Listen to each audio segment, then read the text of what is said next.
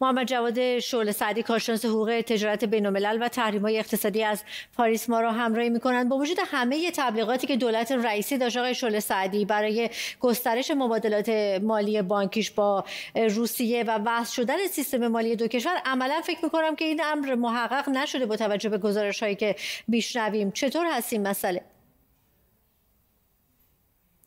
بعید بود و مشخص بود که شرایط نمی‌تونه تغییر بکنه. به این دلیل ساده که ایران همچنان در لیست سیاه FATF هست و بجز بانک هایی در کشور کره شمالی که اون کشور هم مثل ایران در لیست سیاه FATF هست هیچ بانک یا مؤسسه مالی و اقتصادی در دنیا این ریسک رو نمی‌تونه بکنه و که با ایران رابطه مستقیم داشته باشه فعالیت با ایران انجام بده. به این دلیل که خودش می‌تونه مورد این ریسک قرار بگیره که تحریم بشه یا اینکه دچار بایکوت بشه یا حتی دارایی هاش توقیف بشه و اینها. این لیست سیاه FATF بسیار در واقع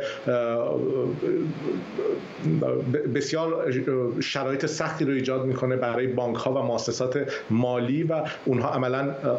جدا میشن از سیستم مالی و بانکی بین المللی و حتی روسیه و چین هم نشون دادن که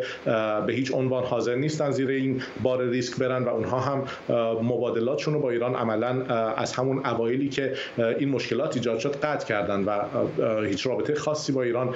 به صورت علنی نداشتن تا به امروز. در مورد چین هم شرایط خیلی متفاوت نیست آقای شورسدی در واقع با وجود گزارشهایی که داشتیم از فروش غیر رسمی نفت به چین اما عملا بانک‌های چین خیلی همکاری نمی‌کنند و مشخص است که در واقع پول نفت چطوری به ایران برمیگرده. درسته؟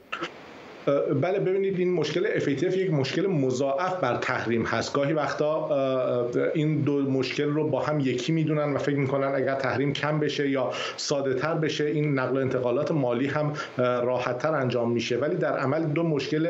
مشکل FATF یه مشکل مضاعف هست و در واقع چین هم زیر بار این نمیره و عملا هم چین نشون داده که حتی از لازم مالی و اقتصادی هم مایل نیست این مطلب رو زیر بارش بره و این پول ها رو به ایران منتقل بکنه و ما حتی بعد از برجام هم دیدیم که بخش زیادی از پولهای بلوکه شده ایران نهایتا در چین مون و چین تمام تلاشش این هست که این پولها رو نگه داره و نهایتا توسط اونها جنس به ایران منتقل بکنه و صادراتش رو افزایش بده. ما باید توجه داشته باشیم که چین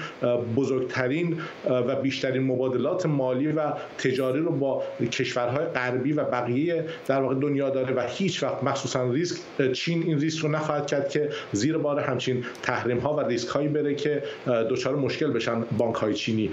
از این رو خیلی واضح هست که تا وقتی مشکل بر مرتفع نشه همچنان مبادلات بانکی و مالی با ایران بسیار سخت و پیچیده خواهد بود برای تمام تجار ایرانی. ممنونم از توضیحات شما محمد جواد شعله سعدی کارشناس حقوق تجارت بین الملل و تحریم های اقتصادی از پاریس.